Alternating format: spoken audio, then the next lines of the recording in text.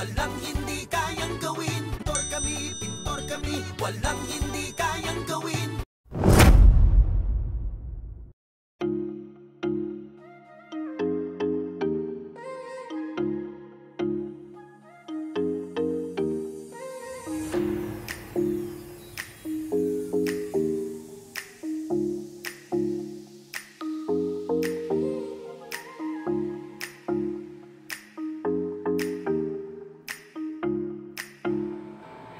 mga Cobra Ventura.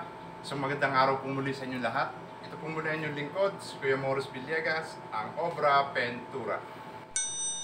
Ang gagawin po natin ngayon mga Cobra Ventura ay kung paano po lumikha ng isang design sa pamamagitan po ng masilya. Masilya po na gagamitin natin sa pagdidesign upang makalikha po tayo ng marble design sa ating pong tahanan. Isa na naman pong design ang aking pong ituturo sa mga oras na ito na katulad po ng design na ito.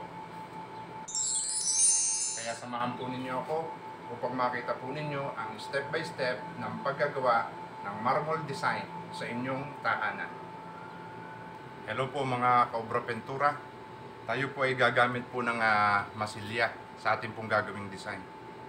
Ito po yung puting masilya at ah, hahaluan po siya natin ng yung isa po ay kulay brown at yung isa po ay kulay green.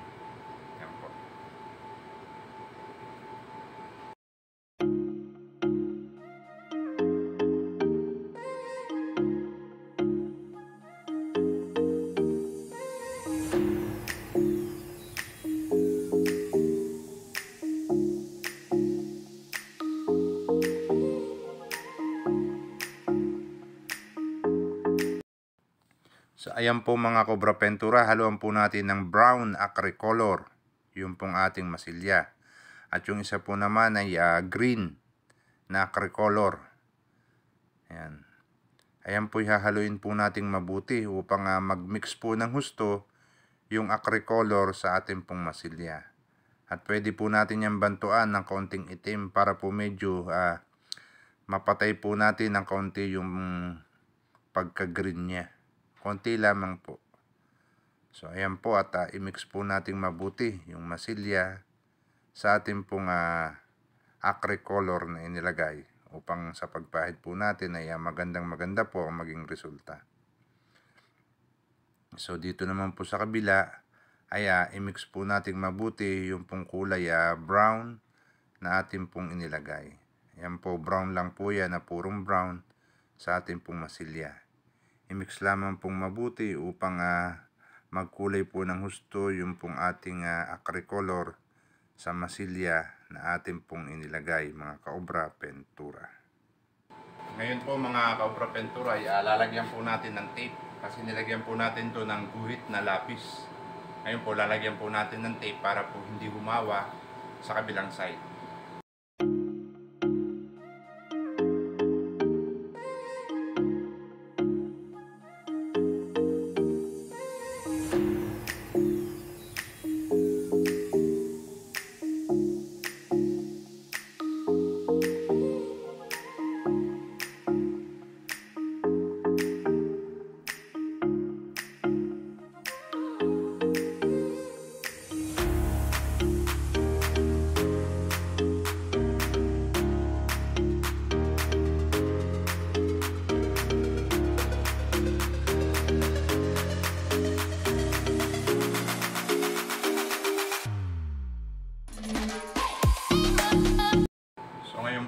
Lalapatan na po natin siya ng masilya.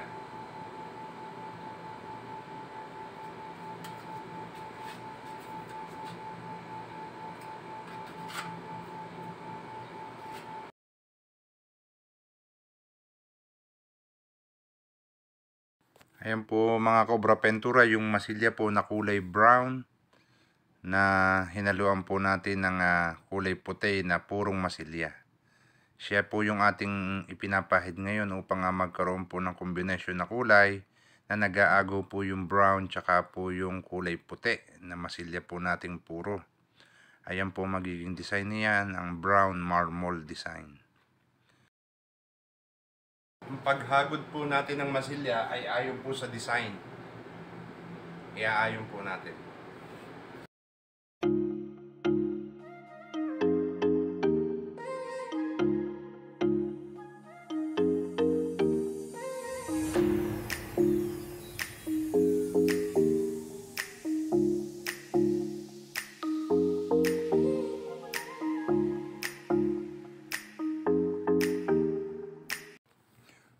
Po yung hagod natin dyan sa kabila, ganun din po yung gagawin po natin dyan sa kabilang side. Kahit po medyo tumingkad yung kabila o mapalight yung kabila, wala pong problema doon. Sapagkat ang marmol naman po ay hindi po nagkakapares-pares talaga ang kanila pong kulay. Ganun po mga Cobra Pentura at kakahagin po nating mabuti. Ngayon po alisin na po natin yung pong tape na inilagay po natin upang uh, makapagsimula din po tayo dito sa kabilang side ng kulay brown na marmol design. Kudrado po kasi ang gagawin natin na hinati po natin ng pabalagbag sa gitna. At uh, ganun po, magagamit pa po natin yung mga tape na inaalis natin na yan. Magagamit na pa po natin yan sa ating po mga susunod na lalagyan po ng design na marmol. Dito naman po sa kabilang side ang lalagyan natin ng tape.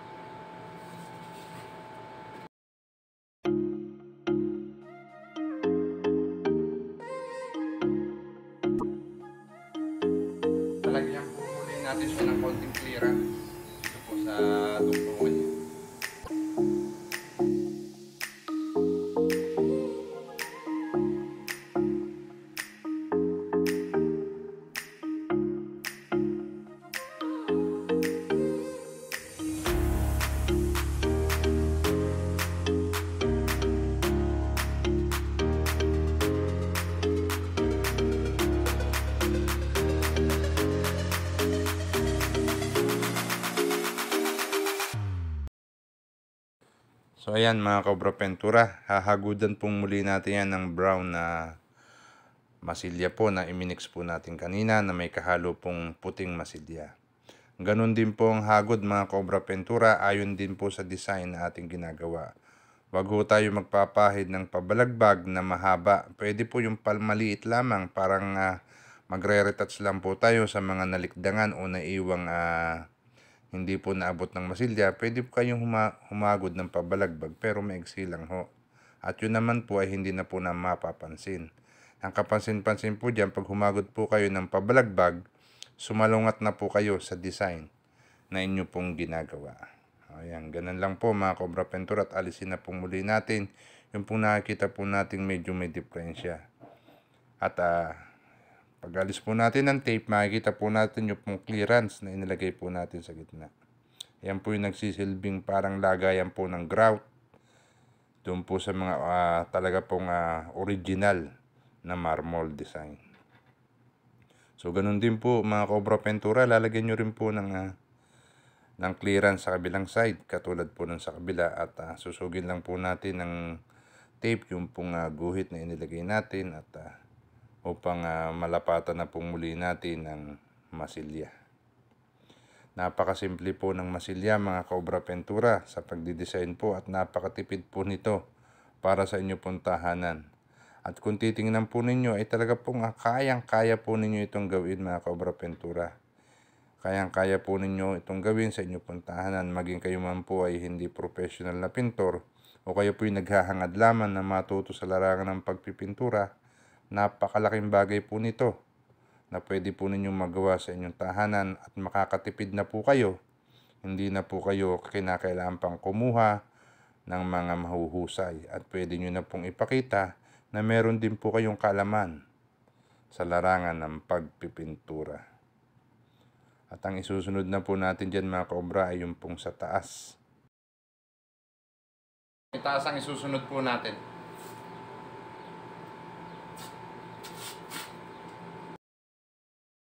So ayan mga Cobra Pentura, lalagyan din po natin ng clearance yung pong itaas para po kita na talaga pong humiwalay yung kulay green na masilya na ilalagay po natin. Ayan po kung sa tawagin po natin yung ilalagay po natin green ay para pong pinakaliston ng kulay brown na masilya na inilagay po natin.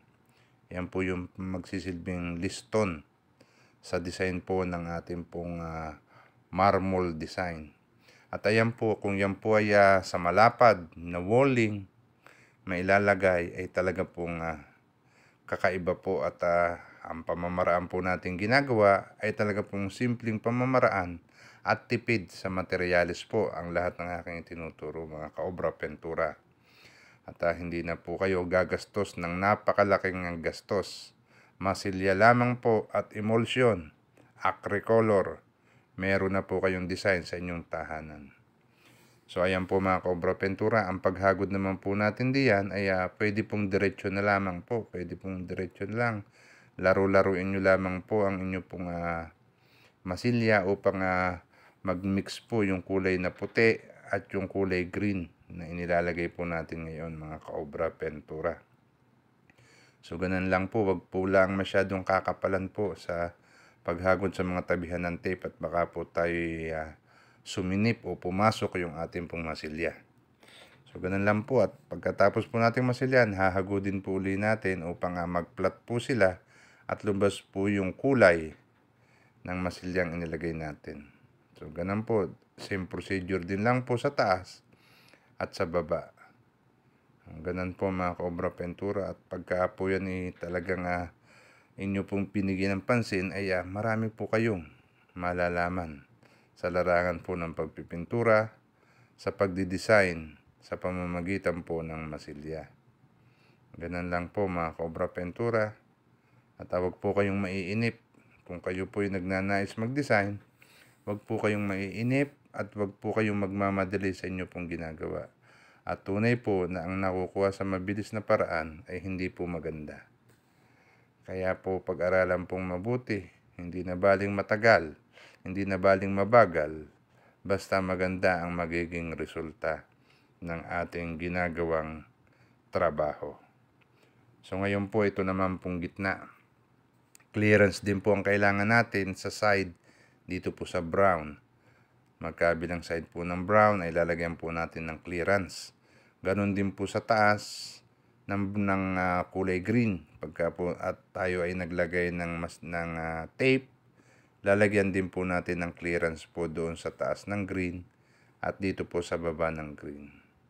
At ang paghagod po natin gagawin ay katulad din po ng hagod natin kanina sa green na inilagay po natin para po hindi po sila maghiwalay ng design.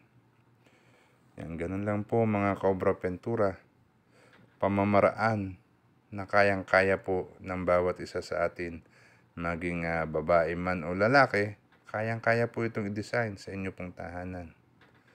Napakatipid po sa materialis ng lahat ng itinuturo ko.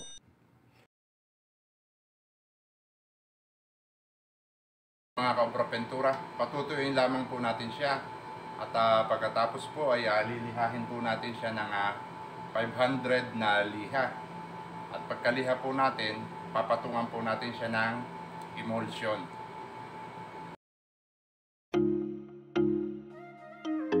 So ngayon po ay uh, lilihahin na po natin siya ng uh, ah, 500 na liha.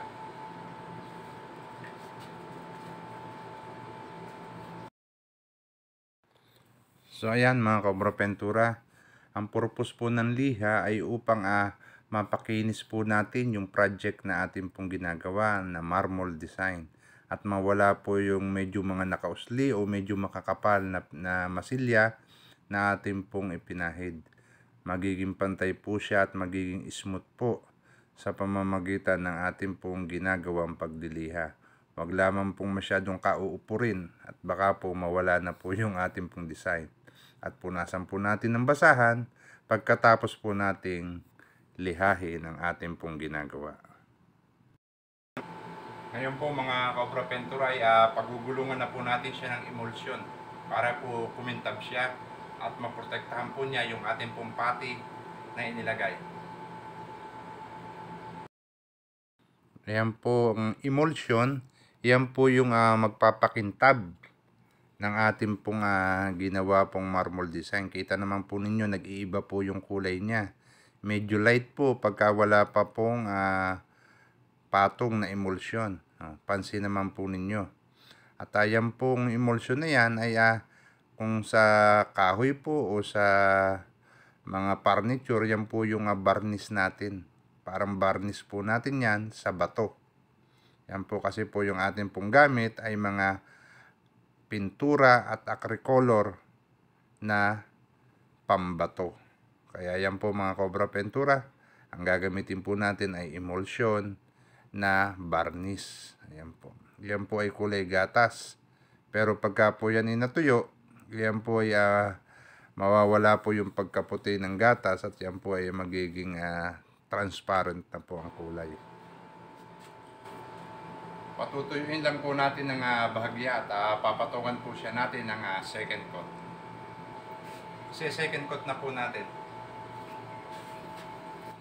So ayan po, second coat na po yan.